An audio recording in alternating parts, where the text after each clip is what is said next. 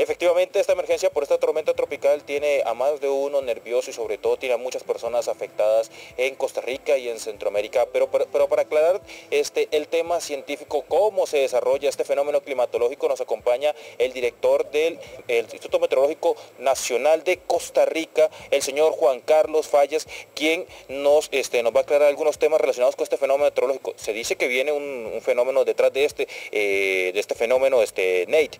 Eh, ¿Eso se puede aclarar, este, don Juan Carlos? Indudablemente, porque eso es falso.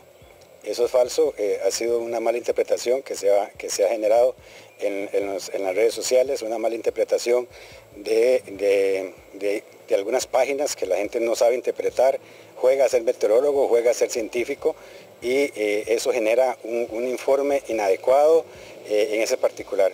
Y esto cabe resaltar porque este, esto genera, eh, precisamente como usted dice, una preocupación en la población.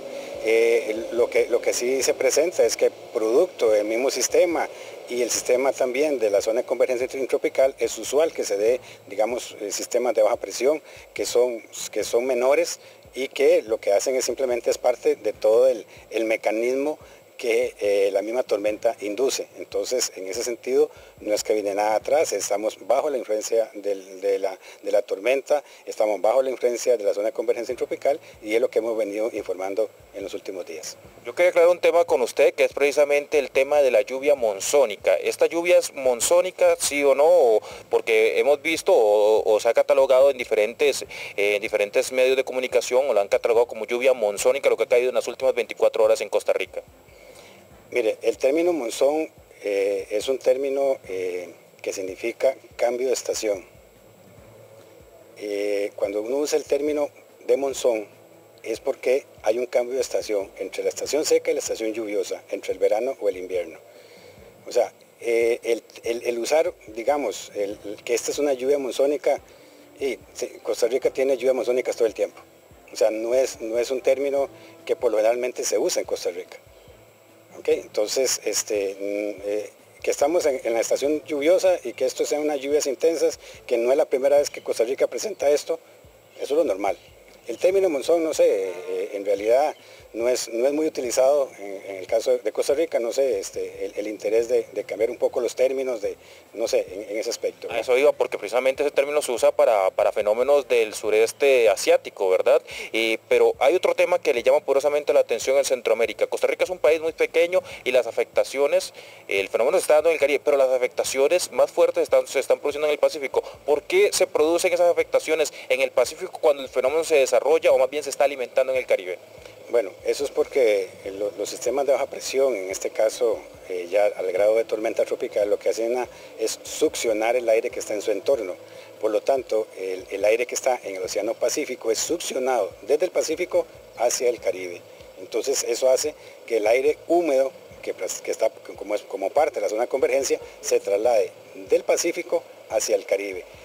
Pero en ese, en ese desplazamiento el aire se encuentra con el sistema montañoso nacional y, ese, y esa interacción con el sistema montañoso es lo que hace que las condiciones de lluvia sean mayores, precisamente porque tenemos la montaña. Si no tuviéramos la montaña, la actividad lluviosa no fuera tan intensa.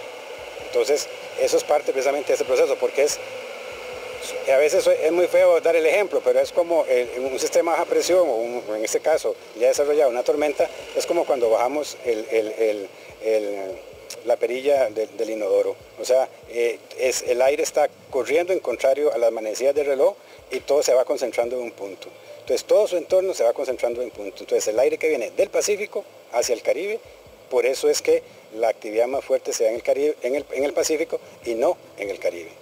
Le pregunto de otro fenómeno que podría estarse dando a raíz de, esta, de este fenómeno climatológico, que es la tormenta eléctrica.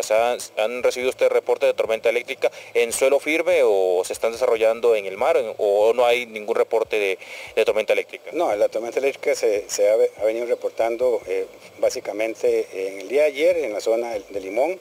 Eh, se han reportado en la, parte del, océano, del Océano Pacífico, en la parte continental no ha sido tanto, este, eh, el tipo de nubosidad que, que, sea bajo condición de temporal no, no facilita el desarrollo muy en ese sentido.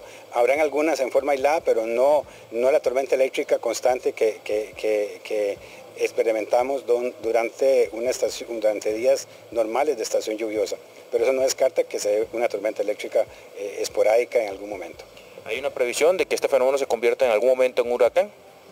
Sí, lo, mencioné ahora en la conferencia de prensa en el sentido de que la, tendencia estaríamos hablando cuando el sistema ingrese al Golfo, al Golfo de, México y, tiene las condiciones propicias para que se desarrolle.